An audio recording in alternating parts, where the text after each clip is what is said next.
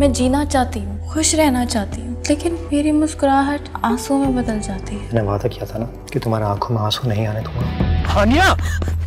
हानिया मैं हूँ। कौन?